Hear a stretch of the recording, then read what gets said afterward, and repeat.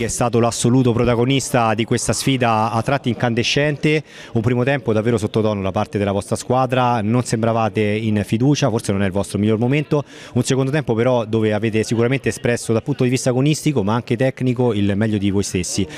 È qui che bisogna sicuramente lavorare dal punto di vista dell'intensità, qual è la tua visione di questa partita? Eh, sicuramente il primo tempo non è andato come doveva, non eravamo i soliti non eravamo, non eravamo noi.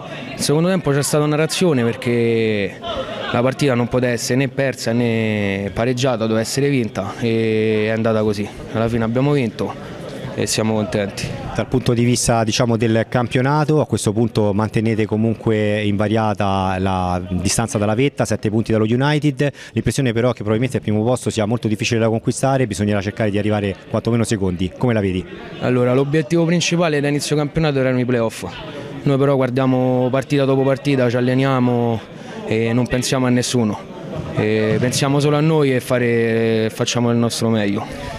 Ultima domanda che ti faccio, eh, dal tuo punto di vista tu hai fatto tre gol, oggi hai tolto le castagne dal fuoco riuscendo quantomeno a, a ottenere questi tre punti che mancavano al 17 di eh, dicembre dello scorso anno, dov'è che dovete migliorare secondo voi, in quale aspetto del gioco?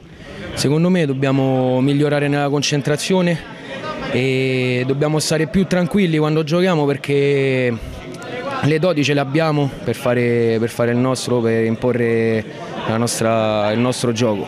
Dobbiamo stare solo più tranquilli e, e tutto verrà bene.